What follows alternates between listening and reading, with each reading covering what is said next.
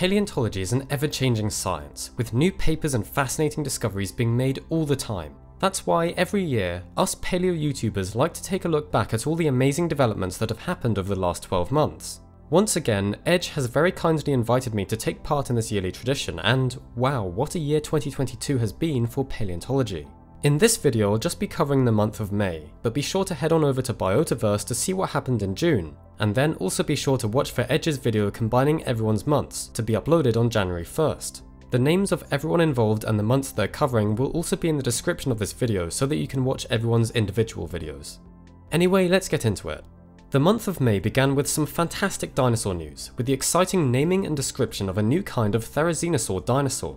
This animal, based on material from late Cretaceous age deposits in Japan, was named Paralitherizinosaurus japonicus, and had been known for a while before it was officially named, with a previous study having mentioned the fossils but not fully describing them. This paper from May, then, recognised the remains as belonging to a new Therizinosaur, and actually positioned it as a close relative of Therizinosaurus itself. The bones known for this new taxon are unfortunately quite fragmentary, comprising just one partial vertebra and a partial right hand, but bits of three claws are included in this material. This allowed for some interesting comparisons between Therizinosaur claws to be made, with the researchers finding Paralitherizinosaurus to have quite slender claws with weak flexor muscles, much like Therizinosaurus itself, and therefore providing more evidence for the claws of derived members of the group being used to hook and pull vegetation towards the mouth. Interestingly, the new taxon is also the youngest Therizinosaur from Japan, as well as being the first to be found in marine deposits in Asia, perhaps suggesting that these dinosaurs were adapted for life in coastal environments. Not long after, on the 6th of May, a very cool study that looked at how trilobites mated was published. The paper explains that although eggs had been found in trilobite fossils before, direct anatomical and behavioural mating adaptations had not been identified in these animals until this publication. Looking at a specimen from the famous Burgess Shale deposit, the paper showed that the arthropods possessed specialised appendages that were likely used as claspers, used by the males to grip onto the spines of the females, much like how horseshoe crabs reproduce. It's a pretty amazing discovery showing evidence of sexual dimorphism in these organisms, as well as indicating that these complex mating behaviours originated in arthropods all the way back in the Cambrian. May also saw the incredible announcement of the first complete ichthyosaur to be found in Chile. Nicknamed Fiona, this specimen was actually first discovered in 2009 in the Tyndall Glacier of Chilean Patagonia, and a team of paleontologists led by Dr. Judith Pardo Perez and including Dr. Dean Lomax journeyed there in early 2022, braving the harsh conditions of the region in order to extract and conserve this remarkable specimen. It's 4 meters long, is likely to represent a new genus of ichthyosaur, and comes from the early Cretaceous period. But best of all, it's a pregnant specimen containing several embryos. The team of scientists also managed to discover an amazing 23 new specimens of ichthyosaurs from the site, including juvenile individuals. It's going to be very exciting to see what new discoveries are made thanks to these incredible fossil finds.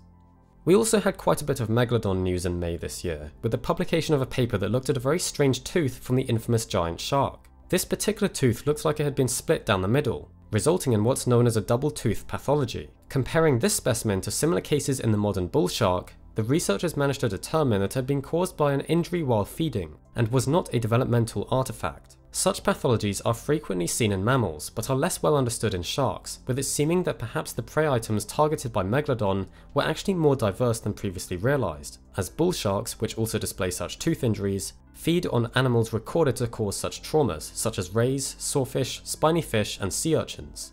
So the researchers suggest, perhaps Megalodon also sometimes fed on similar prey, in addition to marine mammals.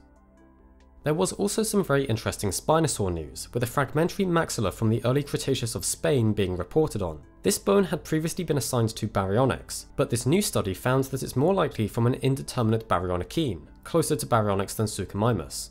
The paper also helped to clarify some of the anatomy of Spinosaurid skulls, with comparisons between this fossil and others helping to better refine some of the characters unique to this grouping. Also in May was a paper published in Nature Communications that documented the discovery of more Denisovan material, which is always exciting. A single molar was found in a limestone cave in the Annamite Mountains in Laos, dating from the Middle Pleistocene between 164 to 131,000 years ago. By looking at the internal structure of the tooth, the researchers were able to determine that it probably came from a young female individual. Morphological similarities with other Denisovan specimens showed more evidence that it is most probably from one of these humans, further showing how this area of Southeast Asia was a hotspot of homodiversity at this time in the Pleistocene. On the 21st of May, we got the wonderful news that the statue of Mary Anning was unveiled in her hometown of Lyme Regis. May 21st would have been her 223rd birthday, and the statue was the result of four years of campaigning by the amazing people at Mary Anning Rocks. Hundreds of people were in attendance to watch the monument be unveiled, and I still can't wait to hopefully go and see it for myself soon. There was also very exciting naming of a new genus and species of Pliosaurid, one of the large, short-necked members of the plesiosaurians. Given the name Eardasaurus powelli, this remarkable specimen was found near Oxford in the UK and dates back to the Middle Jurassic. The fossil itself is really quite complete, with the skull and most of the body being intact and articulated, and had actually been on display in the Oxford Museum for a few years before finally receiving a formal description in May. Coming from the Oxford Clay Formation, Eardasaurus now brings the number of Pliosaurid genera known in this formation up to at least six, making this a particularly rich Pliosaurid assemblage. The teeth of this animal also show an unusual feature that previously was only seen in a species of Liopleurodon among mid-Jurassic Pliosaurids, indicating that this may be a more widespread trait than we'd thought before. We were of course also treated to the absolutely fantastic Prehistoric Planets series in May of this year, streaming on Apple TV Plus from the 23rd through to the 27th. This incredible series, narrated by Sir David Attenborough and featuring a score by Hans Zimmer, portrayed various environments and the prehistoric creatures inhabiting them during the very end of the Cretaceous period, and was an absolute dream come true for fans of paleontology as it featured a lot of very recent and up-to-date ideas about the biology of these animals, not to mention how mind-blowing the visual effects were. There was also a fascinating study investigating the metabolic rates of extinct organisms around this time, by using a type of spectroscopy to quantitatively measure a correlate for metabolic rate in bones from living and extinct animals, researchers were able to show that endothermy, or warm-bloodedness, independently evolved in mammals and plesiosaurs, while also showing that it's the ancestral condition for ornithodirans as a whole, the group that includes pterosaurs and dinosaurs. So, higher metabolic rates were ancestral to pterosaurs, ornithischians, theropods, and sauropods, but then, interestingly, it seems that ornithischian dinosaurs reduced their metabolic rate more towards ectothermy. The study also found that giant sauropods and theropods were not gigantotherms, as some people had proposed, but true endotherms instead.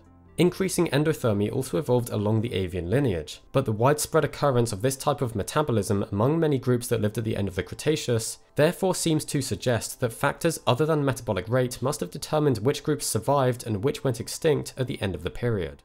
On the very last day of May, they just about squeezed in another paper on everyone's favourite giant shark. This time, the study examines the geochemistry of fossil teeth from both Megalodon and from the great white shark, looking specifically at the differences in zinc isotopes in the tooth enameloids between them. Zinc isotopes, it turns out, are incredibly good indicators of these animals' trophic levels, and therefore their positions within the ecosystem. The researchers found that there were significant differences between the zinc isotopes among populations of both sharks, suggesting that dietary shifts occurred during the Neogene in both these shark species.